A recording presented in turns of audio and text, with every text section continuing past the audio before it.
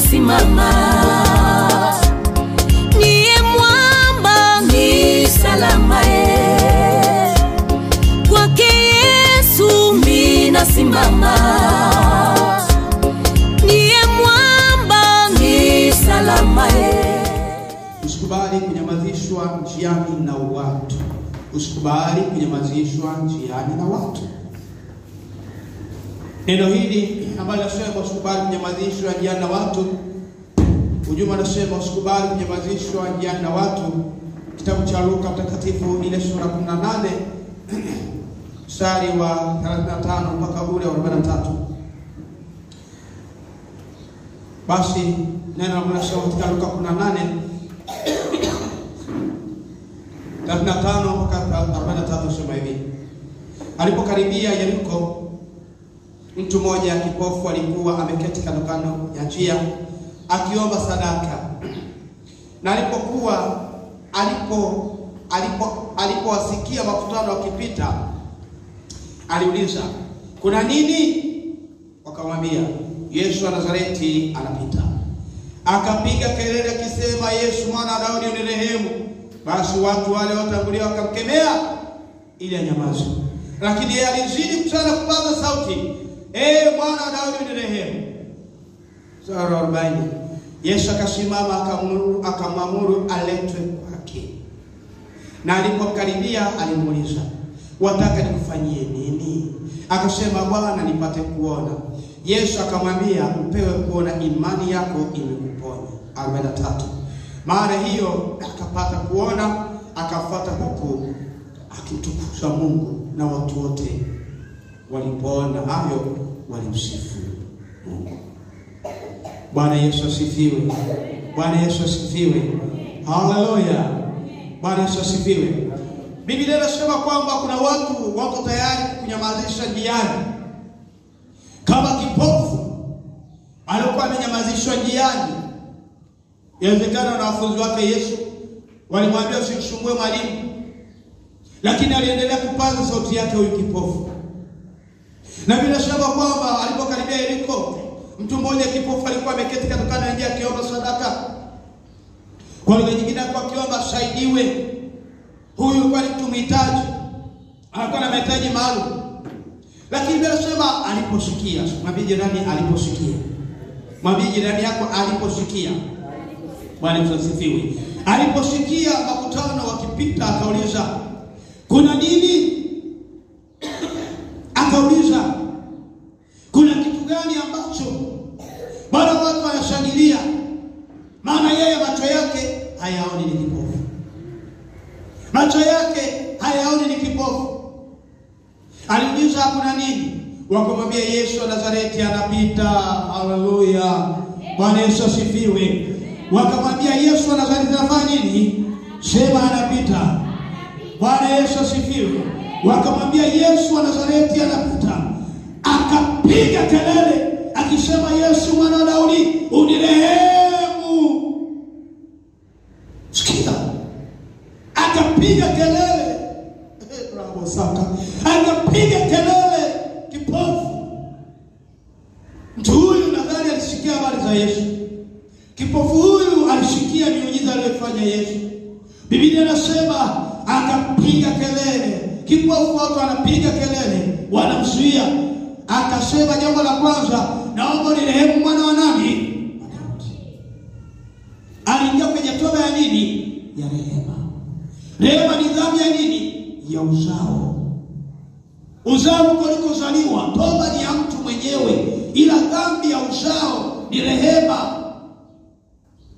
Kwa hiyo alipoingia kwenye maombi, alipoingia kwenye kusema kwamba Yesu mwana wa Daudi unirehemu, akapiga kelele, akaanza unirehemu, hajasema uniponye. Hmm? Kwa lugha nyingine alidhani ni mpendwa, sema toba, toba ya kifamilia, toba ya uzao, toba ya upatilizo. Sio swala ya ishirini na tano. kutoka ile mstari wa ishirini na tatu akaanza eh, mwana wa Daudi unirehemu. Bwana Yesu asifiwe. Sikia, hakuna uponyaji usiokuwa na toba na rehema. Alijitambua hili kwamba lazima nianze na toba kwanza, alifuata instruction ya uponyaji. Ukitaka kubarikiwa au ukitaka kufunguliwa, lazima uingie kwenye toba na rehema, au sio? Si ndio pendwa? Maombi yako unapoanza lazima uingie kwenye toba na rehema, kama kawaida ya mtu aliyeokoka. Bwana Yesu asifiwe. Asema unirehemu, ili asema ile thelathini tisa wale walipotangulia wakakenea, waliotangulia wakakenea ili anyamaze, lakini yeye alizidi kupaza sauti, ee mwana wa Daudi unirehemu. Wakamkemea. Kuna watu watakemea njiani, watakwambia wamejifanya wameokoka, watakwambia wanajifanya eti ni mlokole, Unaji- unajifanya unamjua Yesu kila wakati uko kwenye vipindi huko kwenye maombi. Kuna watu watukanyemezesha njiani kama kipofu. Biblia inasema endelea kumwambia ee Yesu Kristo, unirehemu na usinipite. Kipofu hakuangalia sauti njiani. Haleluya. Bwana Yesu asifiwe. Jambo la kwanza, sauti za watu zinaweza zikakupoteza njiani. Sauti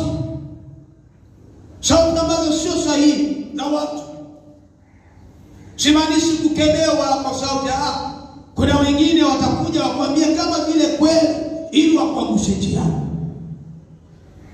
Sauti Kipofu hakuangalia mazingira ya mkutano ya makutano aliyokuwa anafuata Yesu. Ah, ah. Alichokuwa na paza sauti mpaka Yesu akasikia. Endelea kupaza sauti yako kwa Yesu.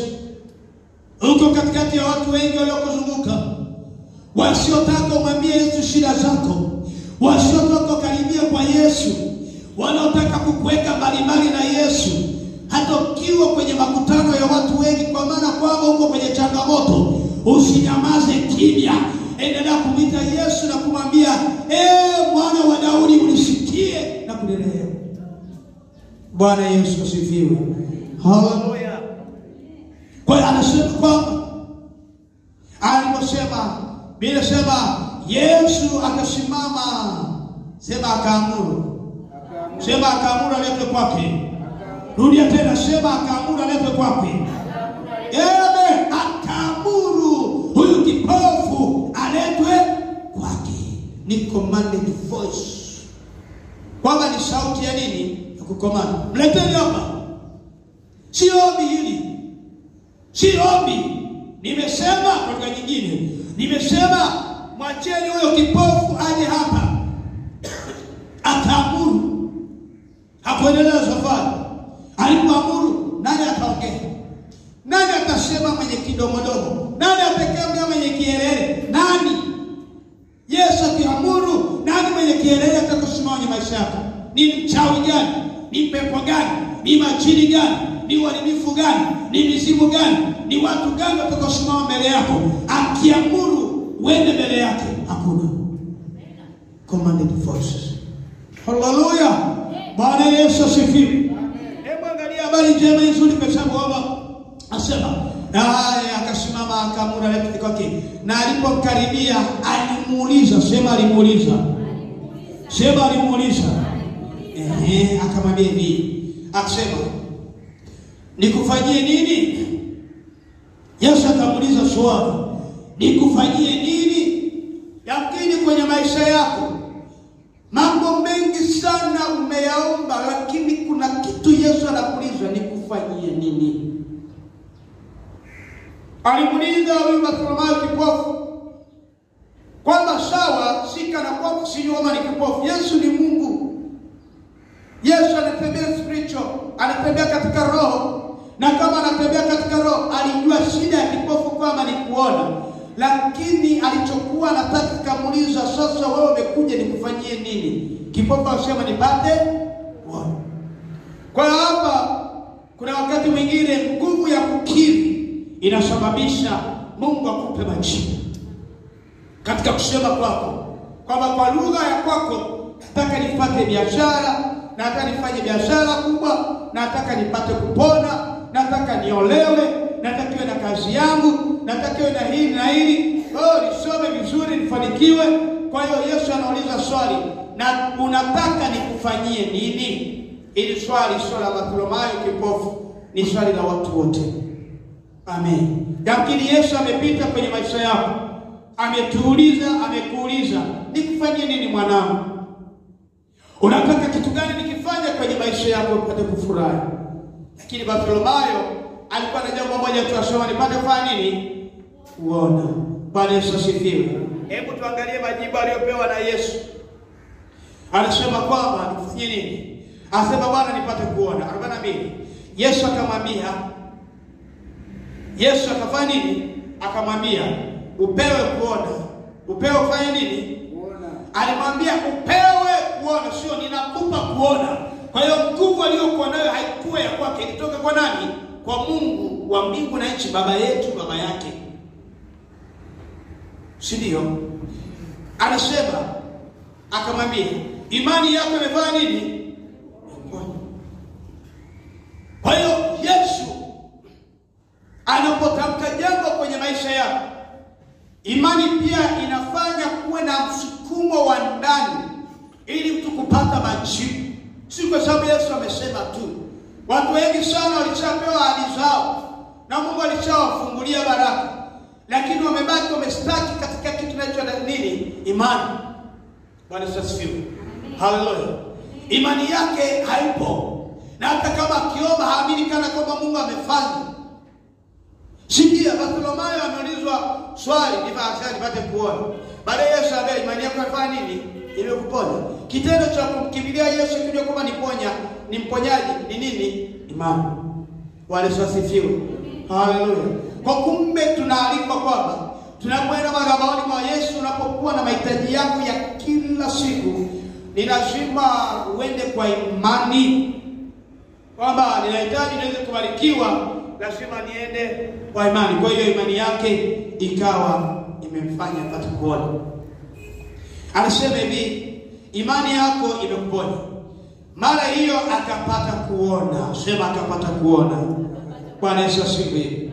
Anasema akafuata huku akitukuza Mungu, na watu wote walipoona hayo walimsifu Mungu mno. Sasa hana shida tena. Haleluya. Kipofu toka kuzaliwa hajawahi kuona na jua, hajawahi kuona mwanga. Leo hiyo ameponywa, na makutano walikuwa wakipita, na yeye alijua kwamba ni mwombaji wa sadaka kando kando ya, bahari, ya, ya barabara. Yesu akiwa na passway, akiwa anapita, alijua kwamba inawezekana uponyaji wake ungeishia tu pale pale, wangekemewa. Njiani kuna shida, wapendwa, njiani kuna sauti. Inawezekana mtu ni kipofu wa kiroho, wengine wako tayari kumpeleka mtu shimoni ili apoteza zaidi, badala ya kumrejesha kwa Yesu anapeleka shimoni. Kwa kawaida mwanadamu ni mzuri sana, Mungu anampenda sana mwanadamu, lakini anachukia dhambi. Ndio maana Mungu anaturehema elfu kwa maelfu kila wakati. Mungu anakupenda sana lakini anachukia nini? Dhambi. Bwana Yesu asifiwe. Bartholomayo alianza na rehema, nimesema ee mwana wa Daudi unirehemu, lakini hakujua kwamba siku moja atapokwa. Alipokuwa anapita Yesu ndipo akapata uponyaji. Biblia inasema ikafika, kaanza kumshangaza kwamba alipokojwa akaungana na mkutano na yeye akawa anarukaruka anasifu, Bwana asifiwe, ameukwa neema, mapambio ya sifa huko na yeye anaona hivi. Piga picha ilikuwaje siku hiyo hivi? Jamani, huja kufanya afanya vuta hiyo feeling, vuta hiyo vuta hizo hisia kwamba umeponywa. Nafikiri aliruka kuliko wote. Bwana Yesu asifiwe, haleluya. Oh, kipofu na yeye anarukaruka anasifu Bwana, anarukaruka kwa naenda wakati wanaimba na yeye anarukaruka, watu wakamsifu Bwana kwa matendo makubwa aliyoyafanya, na alikuwa kipofu, sasa ninaona. Si ndio? Kuna watu walimuuliza, asema usiniulize sana, mimi ninachojua kwamba alikuwa sioni, ni sijui ilikuwaje, alichofanya mimi alifanya nini, ameniponya Sihitaji maswali ya wanyamazishaji jiani, maana kuna wengine wataambia hivi, umefanikiwaje? Hivi Yesu wako yukoje? Ni huyu huyu unaenda kanisani kila wakati mafanikio? Ndio. So kuna wengine lazima awe na katunguli, lazima kairisi, lazima anaka kitu fulani, awe na amekaka kwenye kichwa, kajani amepewa kadogo, akienda kunyoa anakatoa Eh, ameweka huko ndani kama sehemu ya ulinzi au sehemu ya baraka, anatembea nacho. Hajawahi kufanikiwa, lakini wewe unamtegemea Yesu Kristo, atakuja atakuuliza njiani, hivi ni nani aliyekufanikisha haya? Utamwambia ni Yesu wa Nazareti, na alikuwa kipofu, nachojua sasa ninaona, na alikuwa sina fedha, nachojua sasa nina fedha, na alikuwa sina elimu, nachojua kwamba nina elimu, na alikataliwa, sasa nimepata kibali, nilikuwa sina mume, sasa nimeolewa. Rabo sana liaba saka. Oh, sikubali kunyamazishwa na watu njiani. Kuna wakatisha tamaa, watakwambia biashara huwezi. Wewe hutakaa uolewe, na wengine wamekufunga. Ni nani anajua maisha yako? Nani anajua maisha yako? Oh, simama vizuri na Yesu wako. Haleluya, rabo shaka. Usiogope njiani, tena wende wanyamazishe kwa neno la mamlaka, si la kulia. Haleluya! Nyamazisha sauti za mapepo njiani, nyamazisha sauti za wachawi njiani, nyamazisha kila mazingira njiani yanayokutesha njiani, lakini usikubali kunyamazishwa njiani na watu waovu, ila Yesu akunyamazishe kwa sauti nyingi ambazo zina maana. Bwana Yesu asifiwe. Haleluya. Bwana Yesu asifiwe. Nachojua kwamba Yesu hajawahi kushindwa, atakutendea mambo makubwa na ya ajabu usiyoyajua. Maana yeye ni mamba, yeye ni ana nguvu, ana mamlaka. Wakunyamazishe wewe, mbele, usikubali kunyamazishwa na usikubali kuwa mjinga kwenye mambo ya Mungu, usikubali kuonewa. Mtetee Yesu. Kuna watu atakuja na nguvu zake za eneo la nafasi aliyo nayo, imeli kwamba kutoa kitu cha Mungu ndani yako usikubali. Kuna wengine wanakuita sahihi, ni sauti sahihi, kumbe ni mapepo yameshaingia ili kukwamisha kazi ya Mungu aliyoweka ndani yako, usikubali. Kuna wengine unapoenda kwenye ibada ndio kazi inatolewa. Ingia katika roho, sambaratisha kila roho ya vikwazo njiani, usikubali. Kuna wengine watakuja na sauti hiyo hiyo kama ya Yesu, lakini katika ulimwengu wa roho na falme zao, usikubali. Bwana Yesu asifiwe. Mtegemee sana roho wa nani? Roho wa Mungu, Roho Mtakatifu, the Holy Spirit. Roho Mtakatifu anafanya kila kitu.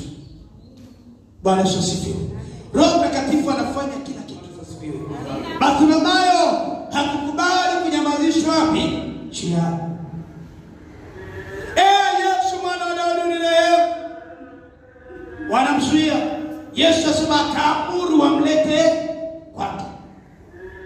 Ndio amesema kwamba kuna wakati Yesu ataamuru baraka zije kwako, mume mwema aje kwako, mtaji ukuje kwako, kila kitu kije kwako, hata kama he, he, he, he, oh, oh, kelele nyingi njiani. Oh, kuna msemo mmoja Rais Nyerere alisema kwamba unapoanza safari ya mafanikio, kana mpenda sana Mwalimu Nyerere. Nina bahati sana kuzaliwa kwa Mwalimu Nyerere jamani. Eh? Nafikiri hapa karibu yote tumezaliwa wakati wa Nyerere. Wangapi wazaliwa wakati wa Nyerere? Abonyesha mkono. Lameki wakati wa Nyerere nyosha mkono. Tuko hapa wakati yake Mwalimu nani? Utawala wake. Si ndio? Hao waliozaliwa kuanzia mwaka 94 na utawala mwingine wa rais, marais wa sasa.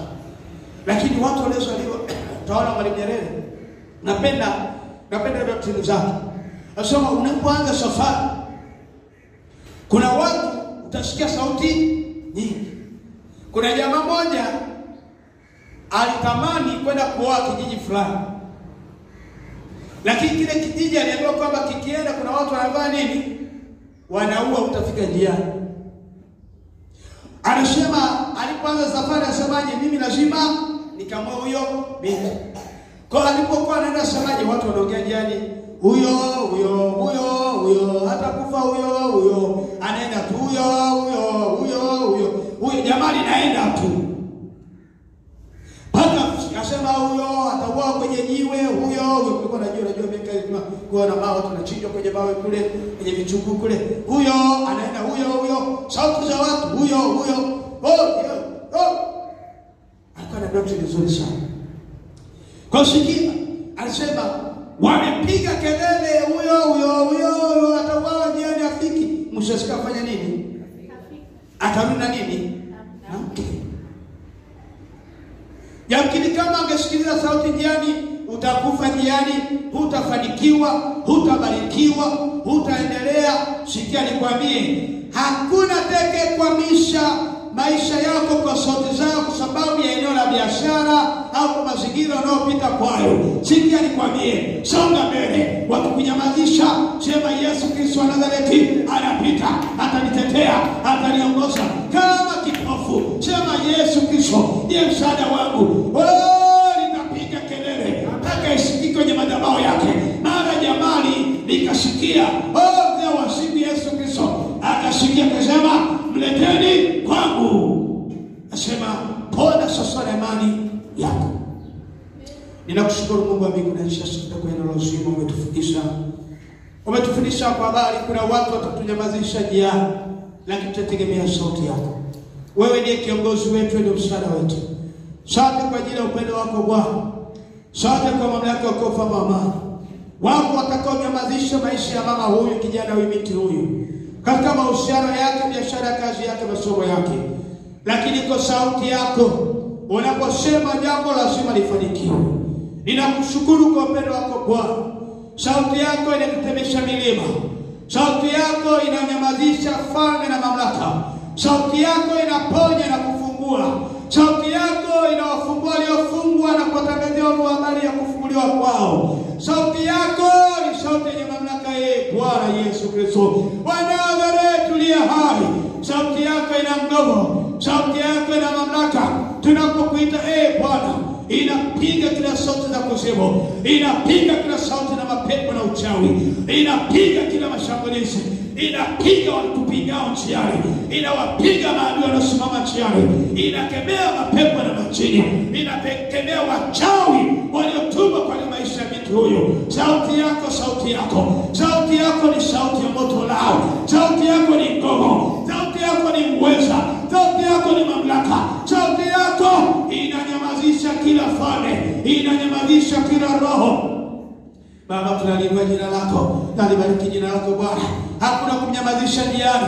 Watoto wako walioko mahali hapa na mtazamaji kwenye YouTube anatuangalia, asinyamazishwe njiani, asinyamazishwe na mapepo, asinyamazishwe na wakatishaji tamaa, wasiotaka fike kwenye destini yake, wausinyamazishe wakajadili ili kukutesa, ili kukutesa kwa sauti zao.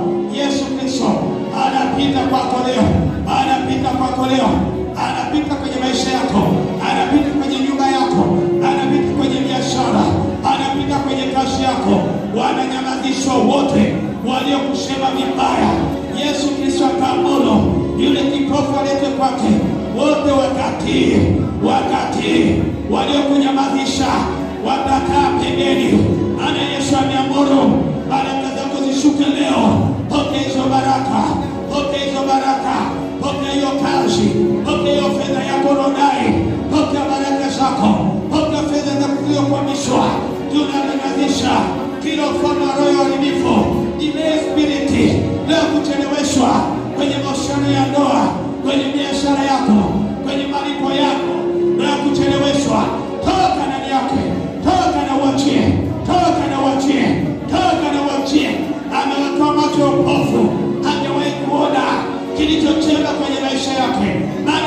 kipofu. Ninayofungua macho yako upate kuona tena, kama yule Bartimayo. Orobo shaka, macho yake akafunguka, akapata kuona,